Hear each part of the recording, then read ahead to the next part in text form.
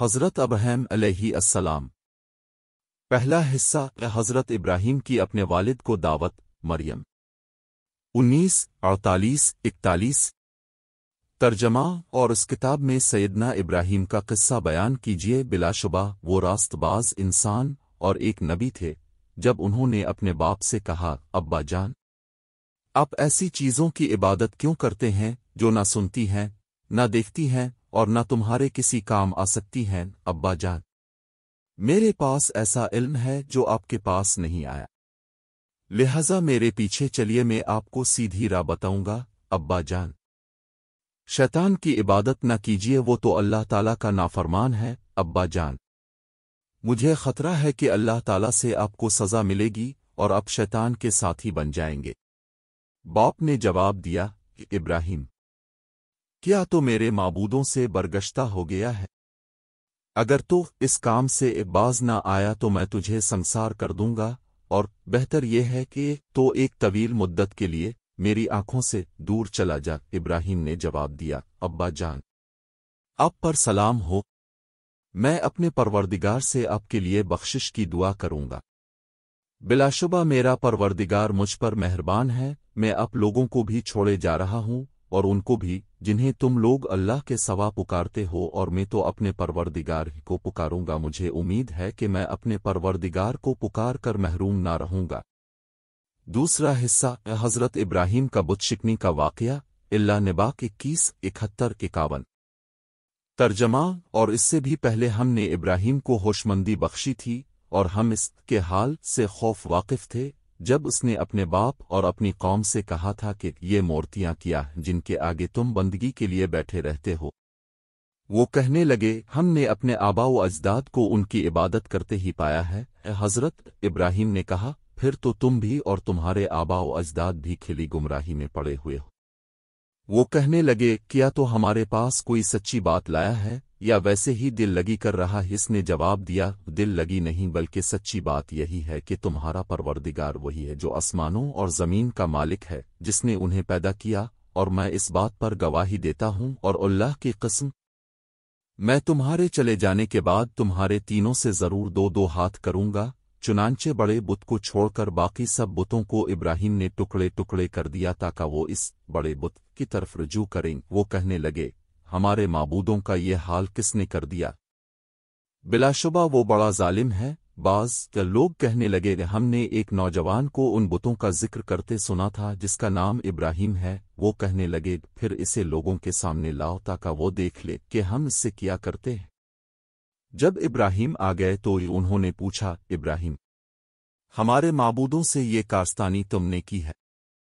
ابراہیم نے جواب دیا نہیں بلکہ ان پر بڑے بت نے ہی یہ کچھ کیا ہوگا۔ لہذا انہیں ٹوٹے ہوئے بتوں سے ہی پوچھ لو۔ اگر بولتے ہوں۔ پھر انہوں نے اپنے دل میں سوچا تو دل میں کہنے لگے، ظالم تو تم خود ہو، پھر لاجواب ہو کر شرم کے مارے سرنگوں ہو گئے۔ اور کہنے لگے، یہ تو تمہیں معلوم ہی ہے کہ یہ بت بولتے نہیں، اس پر ابراہیم نے کہا پھر کیا تم ایسی چیزوں کی عبادت کرتے ہو جو نہ تمہیں کچھ فائدہ دے سکیں اور نہ نقصان پہنچا سکیں؟ تف ہے تم پر اور ان پر بھی، جنہیں تم اللہ کے سوا پوچھتے ہو۔ کیا تم ذرا بھی نہیں سوچتے؟ وہ بولے، اگر تمہیں کچھ کرنا ہے تو ابراہیم کو جلا ڈالو اور اس طرح اپنے معبودوں کی امداد کرو۔ ہم نے آگ کو حکم دیا کیا تو ابراہیم پر ٹھنڈی اور سلامتی والی بن جا۔ وہ تو چاہتے تھے کہ ابراہیم کو دکھ پہنچائیں مگر ہم نے انہیں ہی امتحان میں ڈال دیا اور ہم ابراہیم اور لوٹ کو ان سے بچا کر اس سرزمین، شام، کی طرف لے گئے، جس میں نئے اہل عالم کے لیے برکتیں رکھی ہیں۔ حضرت ابراہیم کی دعوت۔ سیدنا ابراہیم علیہ السلام کی عمر سال تھی۔ اب کی بست کا زمانہ دو ہزار اور اکیس سو قبل مسیح کے درمیان ہے۔ نجوم پرستی کا آغاز عراق کے علاقہ میں سیدنا ابراہیم کی بست سے بہت پہلے ہو چکا تھا۔ ستاروں اور چاند، سورج وغیرہ کی اروا کی تصوراتی شکلیں متعین کر کے ان کے مجسمے بنائے جاتے اور ان مجسموں کو مندروں میں پرستش کے لیے رکھا جاتا تھا۔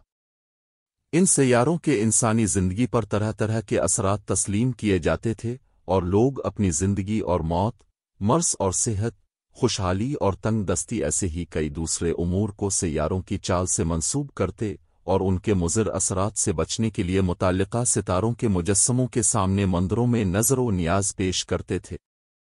مندروں کے نام پر بڑی بڑی جاگیریں وقف ہوتی اور ان کے سرمایہ کو تجارت اور صنعت پر بھی لگایا جاتا اور یہ سب کام مندروں کے پجاریوں کی معرفت طے پاتے تھے۔ اس طرح کی یہ جاگیردار اور سرمایہ دار ملک کے تمدن معیشت اور سیاست پر بہت حد تک اثر انداز ہوتے تھے۔ سیدنا ابراہیم کا باپ ایسے ہی کسی بڑے مندر کا شاہی مانت تھا۔ نذرانے وصول کرنے کے علاوہ بت گری اور بت فروشی کا کاروبار بھی کرتا تھا۔ کھانے پینے کی فراغت کے علاوہ معاشرہ کے معززین میں اس کا شمار ہوتا تھا۔ اپنے ایسے ہی ماحول میں پرورش پائی۔ آپ کو معلوم ہوا کہ فلاں فلاں قسم کے بت فلاں ستارہ کے ہیں۔ اور فلاں بت چاند کے اور فلاں سورج کے علاوہ ازیں ان لوگوں نے اپنے شہروں کے نام بھی انہی بتوں کے نام پر رکھے ہوئے تھے۔ آپ کو بچپن میں ہی فطرت سلیمہ عطا ہوئی تھی۔ معاشرہ کی ان حرکات سے اور گھر کے ایسے ماحول سے ان کی طبیعت بیزار رہتی تھی۔ آپ کی قوم بت پرست اور نجوم پرست تھی۔ آپ کا باپ آزر نمرود شاہ عراق کی طرف سے شاہی بت خانہ کا مانت اور منتظم تھا، وہ بت تراش بھی تھا اور بت فروش بھی۔ چنانچہ اپنے سب سے پہلے اپنے اپنے گھر سے اصلاح دعوت کا آغاز کیا اور اپنے باپ سے کہا کہ اپنے اور آپ کی قوم نے جو یہ مندروں میں بت ٹکا رکھے ہیں اور انہیں اپنا حاجت روا سمجھ رہے ہو یہ تو انتہائی غلط روش اور سراسر گمراہی ہے۔ جب اپنے اپنے باپ ہی کو نہایت نرم الفاظ میں تبلیغ کرنا شروع کی تو اس نے بادشاہ وقت نمرود سے سیدنا ابراہیم کا ذکر کیا تو اس نے آپ کو دربار میں طلب کر لیا۔ سیدنا ابراہیم نے نمرود پر حجت قائم کر کے اسے مناظرہ میں لاجواب کر دیا۔ اگلے مرحلے میں اپنے قوم کو دعوت دینے کا سلسلہ شروع کیا، چنانچہ اپنے قوم کو متوجہ کرنے اور انہیں دعوت دینے کی غرض سے ایک حکیمانہ منصوبہ بنایا۔ ایک دن جب سب لوگ محفل جمائے بیٹھے تھے، تو اپنے لوگوں کو ایک چمکدار ستارہ کی جانب متوجہ کیا اور کہا، یہ میرا رب ہے۔ جب قوم خوش ہو گئی کہ ہمارے معبود کو اس نقاد نے مان لیا تو اپنے اس ستارے کے غروب ہونے پر فرما دیا کہ جو چیز میرے پاس موجود بھی نہیں رہ سکتی وہ میری یا کسی دوسرے کی مشکلات کو کیا دور کرے گی۔ اسی طرح کسی روز پھر چاند کو دیکھا تو اس کے رب ہونے کے بارے میں قوم کو مطلع کیا تاکہ وہ متوجہ ہو جائے۔ لیکن اس کے غروب ہونے پر بھی یہی تبصرہ کر کے اپنے قوم کے شرک پر تنقید کر ڈالی۔ پھر سورج کو بڑا ہونے کی بنیاد پر رب قرار دے کر قوم کی توجہ حاصل کی۔ جب وہ بھی غروب ہو گیا تو اپنے قوم پر حجت تمام کر دی کہ جو چیزیں نظم و ضبط کی اس قدر پابند اور اپنے اپنے کام پر مجبور و بے بس ہیں، وہ خدا کیسے ہو سکتی ہیں؟ خدا تو وہ ہو سکتا ہے جس نے ان تمام چیزوں کو کنٹرول میں رکھا ہوا ہے۔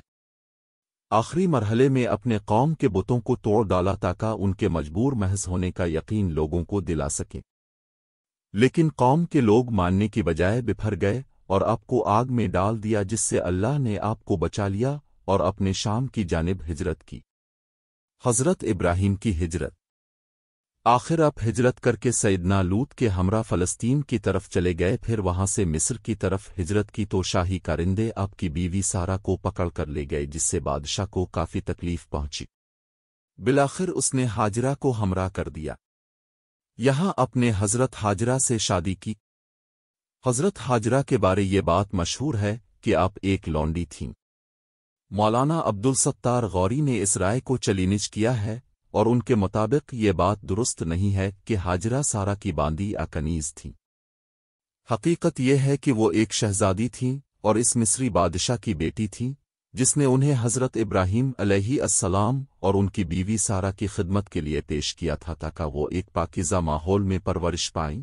یہاں بائبل کے مالفین نے جان بوجھ کر لونڈی آباندی کے طور پر پیش کیا ہے، مزید غور اور تحقیق کا متقاضی ہے۔ کتاب اکلوتا فرزند زبی، اسحاق یا اسمیل حضرت اسماعیل کی پیدائش و قربانی۔ کافی عمر ہونے کے باوجود ابھی تک اولاد نہ تھی، لہذا اللہ سے دعا کی کہ مجھے ایک سال بیٹا عطا فرما جو میرے گھر کی رونق بنے۔ اللہ تعالی نے آپ کو جس بیٹے کی بشارت دی، اس کی نمایاں صفت حلیم تھی۔ حضرت اسماعیل کی پیدائش حضرت حاجرہ سے ہوئی۔ اللہ کے حکم سے اپنے دونوں کو مکہ کی وادی میں بسا دیا تاکہ ایک ایسی قوم کی داغ بیل پڑ سکے جس میں آخری پیغمبر کی بست ہو۔ یہاں آپ اکثر آتے جاتے رہتے اور حضرت اسماعیل اور ان کی والدہ کی خبر گیری کرتے رہتے تھے۔ سیدنا اسمیل جب اس عمر کو پہنچے جب وہ اپنے باپ کے کاموں میں ان کا ہاتھ بٹا سکتے تھے، تو سیدنا ابراہیم کو ایک اور بہت بڑی آزمائش میں ڈالا گیا۔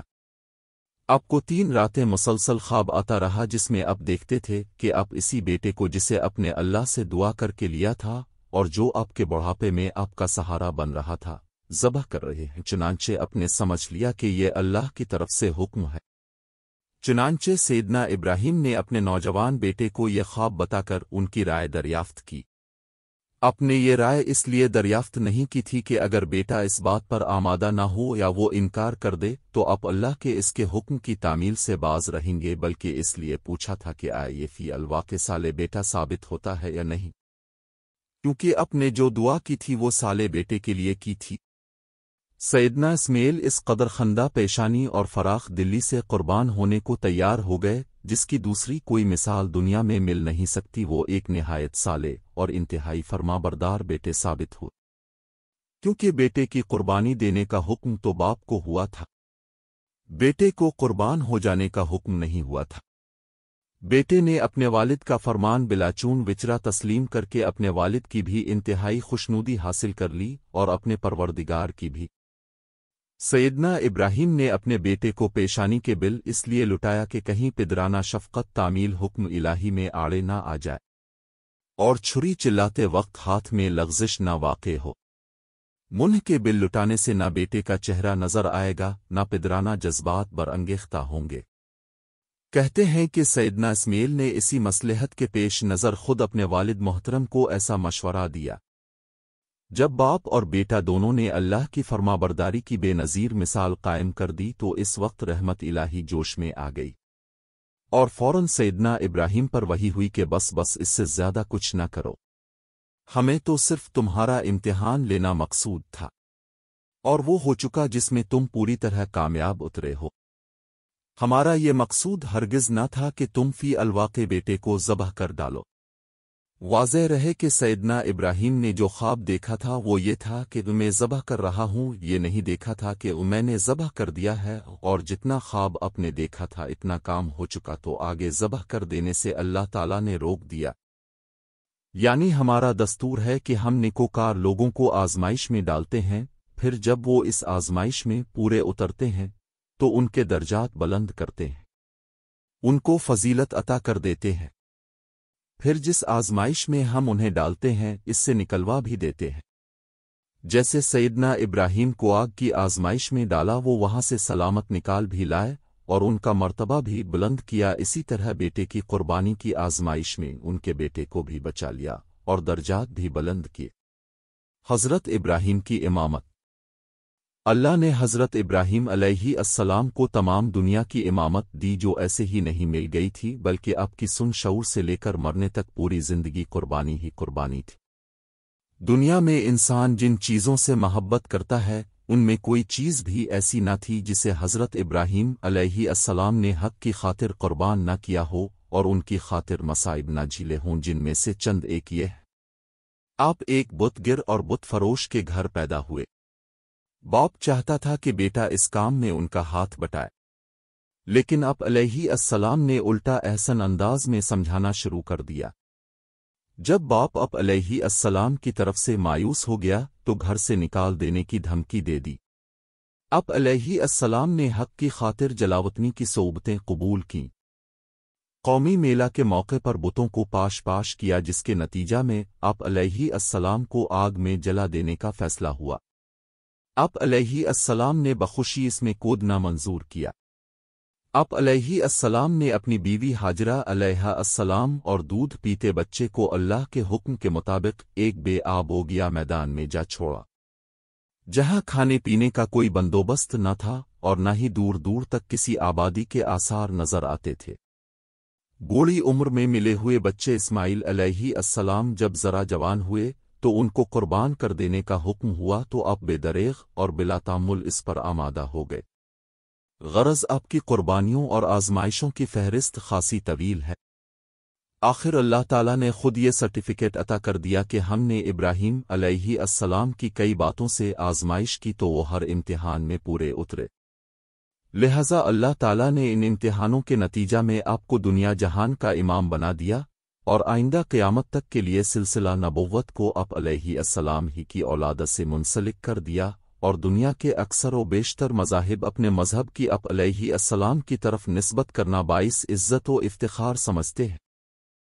آپ کو ہماری یہ کہانی کیسی لگی ہمیں کمنٹس باکس میں ضرور بتائیں اور ہمارے چینل کو سبسکرائب کرنا اور ویڈیو کو لائک اور شیئر کرنا مت بھولیں۔